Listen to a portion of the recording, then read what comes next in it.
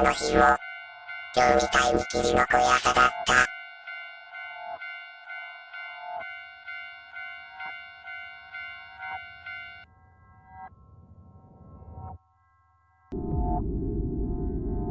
あの日、お姉ちゃんに置いて行かれた私は、一人で学校へ向かう途中で、奇妙な音を聞いたの。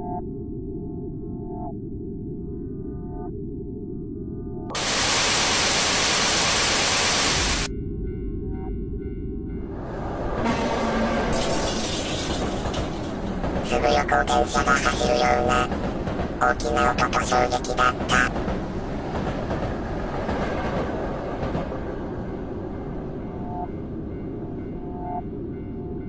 そして私は何かに引き込まれるように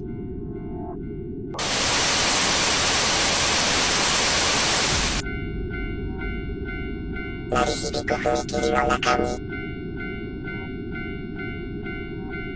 飛び込んでしまった。